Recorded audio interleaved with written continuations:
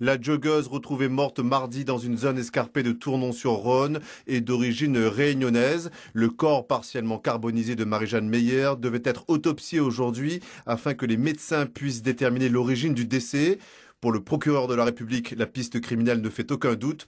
L'oncle et la grand-mère maternelle de la lycéenne qui vivent à La Réunion s'apprêtent à rejoindre l'Ardèche pour assister aux obsèques.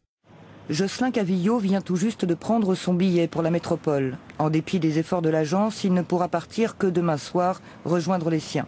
Depuis hier, il a reçu de nombreux témoignages de sympathie de la part d'amis et de collègues de travail.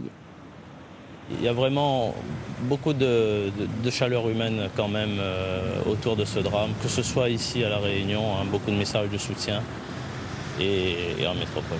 Ça interpelle, je pense, euh, au-delà de ça, euh, la société dans, lequel, dans lequel on vit. À ce stade-là, c'est plus de la, violence, on est dans, dans, la barbarie. Je ne sais pas comment il faut qualifier ça. La justice a mis tous les moyens en œuvre, mais d'après les dires de l'oncle de Marie-Jeanne, l'enquête s'avère difficile au vu du peu d'éléments dont les forces de l'ordre disposent pour le moment.